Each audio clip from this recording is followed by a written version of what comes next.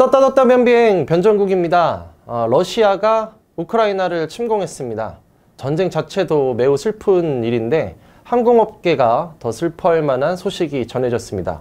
우크라이나가 가지고 있던 세계 최대의 항공기인 안토노프 AN225 무리아 항공기가 러시아 침공으로 파괴됐다는 소식이 전해졌기 때문인데요. 어, 우크라이나어로 꿈이라는 의미를 가지고 있는 무리아 항공기에 대한 어, 가슴 아픈 이야기 그리고 희망에 대해서 이야기 나눠보도록 하겠습니다.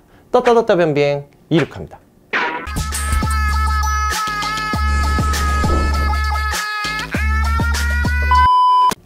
어, 2월 28일에 우크라이나 공식 트위터 계정에 하나의 글이 올라옵니다. 어, 글을 읽어드리면 세계에서 가장 큰 비행기 무리아가 키이우 근처 공항에서 러시아에 의해 파괴됐다. 우리는 비행기를 다시 만들 것이다. 라는 이런 트위터가 올라왔습니다. 어, 이 AN225, 이 무리아 항공기가 어떤 항공기인지부터 소개를 해드리면 정식 이름은 이제 AN225. 이름은 무리아, 어, 우크라이나어로 꿈이라는 의미를 가지고 있어요. 이게 워낙에 세계에서 가장 큰 항공기로 기네스북에도 등재됐던 항공기였던 만큼 우크라이나에서는 거의 상징과도 같은 항공기입니다. 뭐 미국이나 이런 데 보면 미축구 대회, 어, 풋볼 대회나 이런 거 하면은 딱 전투기가 막 지나가고 하는 그런 세레모니 많이 하잖아요. 우크라이나는 무슨 행사 때마다 무리아 항공기가 하늘을 날면서 세레모니를 할 정도로 우크라이나 국민들에겐 정말 상징과도 같은 그런 항공기였습니다. 먼저 이 무리아 항공기의 재원을 좀 살펴볼게요.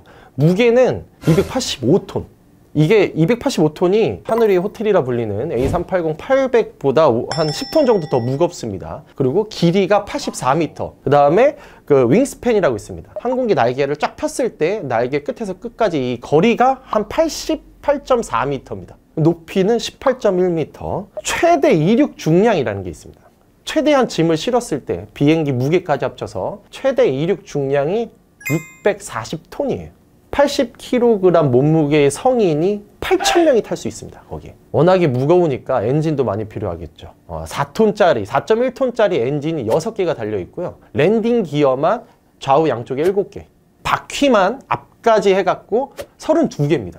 최대 시속은 한 850km인데 아마 무게를 싣고 날다 보면 시속 800km 정도로 난다고 합니다. 항속 거리는 어, 만 한 5,000km 정도 되는데 무게를 최소화했을 때의 기준이고 화물을 200톤 정도 실었을 때의 기준으로 한 4,000km 정도 날아다니는 거예요. 200톤의 무게를 싣고 부산을 뭐 한 10번 넘게 왔다 갔다 하는 거죠. 정말 기네스북에 오를 만 한 항공기이기도 하고 그만큼 어마어마한 연료량을 또 자랑하는 그런 항공기입니다. 1년에 몇 번 날질 않아요. 정말 필요할 때만 나는 그런 항공기여서 이 항공기가 날 때 되면 우크라이나 국민들이 막 난리가 나요. 야 드디어 야 오늘 뜬다. 또 러시아랑 우크라이나 네티즌들끼리 키보드 배틀이 또 붙기도 합니다. 아, 이 우크라이나의 상징이 떴다 하니까 또 러시아에서 야 그거 우리 소련이 만든 거야. 막 이런 식으로 아무튼 이 항공기가 도대체 어떻게 파괴됐는지에 대해서는 지금 일단은 언론지상에 나온 거 가지고만 소개를 좀 해드리도록 할게요. 아까도 말씀드렸잖아요. 1년에 몇 번 뜨지를 않습니다. 그래서 주로 이제 주기장에 이렇게 주차가 돼 있는데 하필 그 러시아 침공이 있던 날에는 므리야 항공기는 엔진 아마 정비를 위해서 그 키이우 근처에 있는 호스토멜 공항의 격납고에 아마 보관이 돼 있었던 것 같아요. 하필 그날 공습이 시작이 된 겁니다.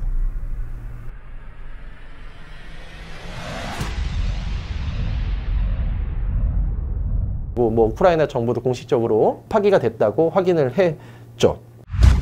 세계에서 가장 큰 항공기, 수송기라고 하다 보니까 오늘 수송 능력에 대해서만 따로 좀 소개를 해 드리도록 하겠습니다. 250톤 정도를 이제 수송을 할 수 있는 그런 이제 능력을 가지고 있는데 이게 뭐 중장비, 기관차, 심지어 헬기도 타고요. 거기 열차도 탑니다. 우리나라에서도 아마 뜨고 있는 그 보잉 747 화물기가 있습니다. 1당 2야. 747이 두 대 실을 거를 얘네 한 대가 다 실어 나를 수 있을 정도로 워낙에 큰 거예요. 뭐 미군 물자 수송에도 많이 쓰였고 난민 수송할 때도 이게 가끔 쓰였고 특히 요즘에 이게 많이 쓰였는데 그 이유가 코로나 때문에 방역 물품을 수송을 하려고 쓰이기도 했었습니다. 이게 또 이제 재미있는 게 있습니다. 코끼리 댄스라는 춤을 춥니다. 항공기가. 이 항공기는 앞뚜껑에서 입이 열리면서 그 안으로 넣는 방식입니다. 항공기가 이렇게 정면이라고 치면 이렇게 해서 갑자기 무릎을 쫙 꿇어주는 거야 이렇게. 뭔가 코끼리가 이렇게 뭔가 이게 춤을 추는 모습이라고 해서 코끼리 댄스라고 부르는 것 같은데 그래서 이게 대표적인 어, 용어가 이 항공기에 붙어 있습니다. 이 무리아 항공기 AN225가 도대체 어떻게 탄생을 했는지 역사에 대해서 한번 소개를 해드리도록 할게요. 1960년대 70년대로 가보겠습니다. 소련의 우주선 이제 브란 브란이라는 이제 우주선을 개발을 했는데 이 우주선을 옮겨야 되는데 이거 옮길 방법이 없는 거라. 그때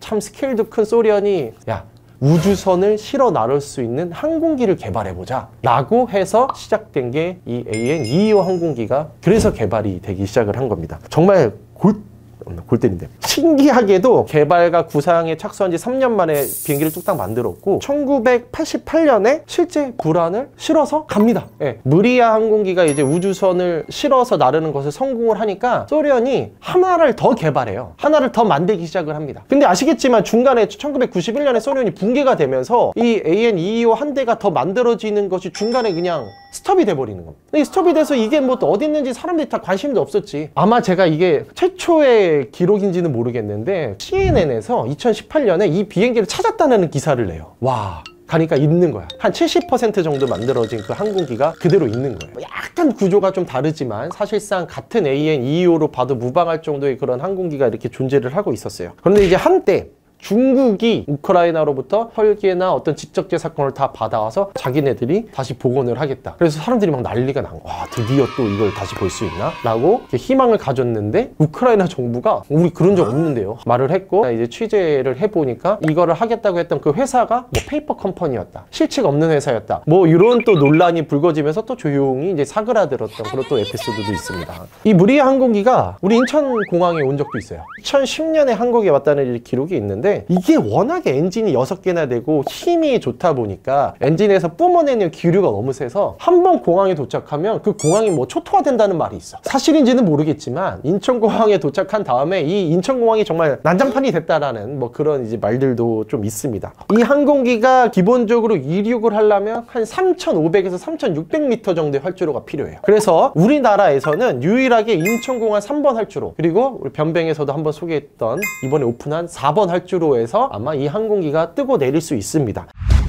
어, 침공, 그 러시아 침공 때문에 파기가 됐지만 최근에 그 AN225의 제약사인 우크로 보론프롬이라는 이제 국영 방산 업체가 이거를 복원하겠다라고 밝혔어요. 한 3조 5천억 원 정도가 들 거고 복원하는 데면 한 5년 정도 걸릴 것으로 추정이 된다라고 하는데 이 재원을 그 러시아로부터 받아내겠다라고 얘기를 해요. 만약에 복원이 제대로 이루어지면 아까 말했던 미완성의 2호기까지도 복원을 하겠다라고 이렇게 계획은 밝혔습니다만 과연 러시아가 이거를 뭐 보상을 해줄지도 모르겠고 좀 변수 좀 남아있긴 하지만 다시 한번 이 무리아 항공기가 하늘로 뜨는 날이 참 왔으면 좋겠다는 좀 생각을 해봐요. 네.